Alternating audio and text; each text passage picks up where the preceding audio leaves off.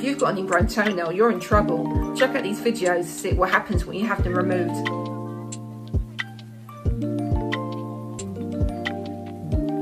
Are you suffering from the discomfort of pain and an ingrown toenail? Don't worry, there's a solution. It's called ingrown toenail removal and this, these videos are going to show you how it's done by professionals.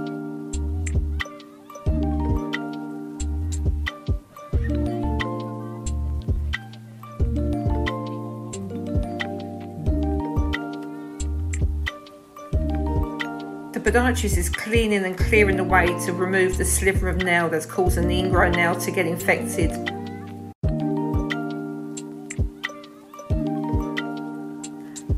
Firstly, the podiatrist will numb the area around the affected toe, so don't worry, you'll have local anaesthetic and this ensures you won't feel, feel any pain during the surgery.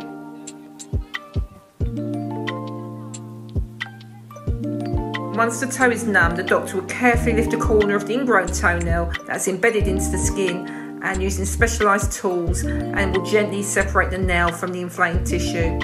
You can see here we've got an infected toenail, so not only is it ingrown, there's pus to come out of the nail too.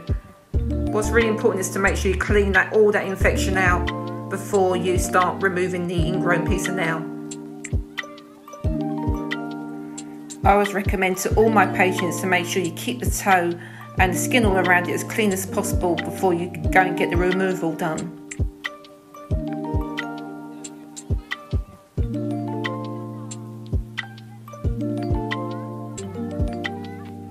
So once the, the, whole area is nice and clean, the podiatrist will then gently uh, guide the ingrown nail piece out and as you can see when it comes out it comes out in one piece that's a, a large ingrown toenail that's been causing a lot of pain So this ingrown toenail, they're actually removing a, a, partial sliver of nail. So this is a partial nail avulsion where they remove a slide of the nail. So it's going to be a thinner toenail in the long run.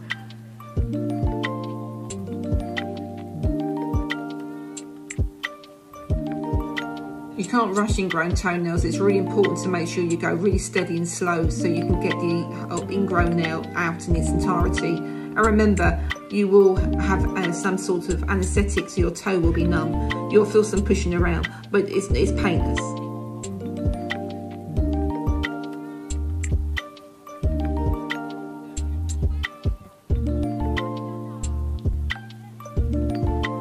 So the professional here is doing the other side of the nail too. Uh, this is coming out a lot easier. You can see it's coming out in one piece. There it goes. So the nail, both sides now have been removed from those painful crease areas of the big toe. They always make sure they don't leave any pieces of nail or hard skin behind. So this toenail is a little bit different. You can see it's really thickened and very discoloured. This has been an ingrown toenail and also a very thickened toenail with a toenail infection. That's why it's so discoloured. Maybe this might have been caused from injury. Often this is the case and it's pretty loose at the nail base. So this one's going to be removed. The whole nail's going to go and the nail bed's going to be exposed. This takes a lot longer to heal. I would say about eight weeks before you get a good scab over the, uh, the nail bed and you're back in normal footwear.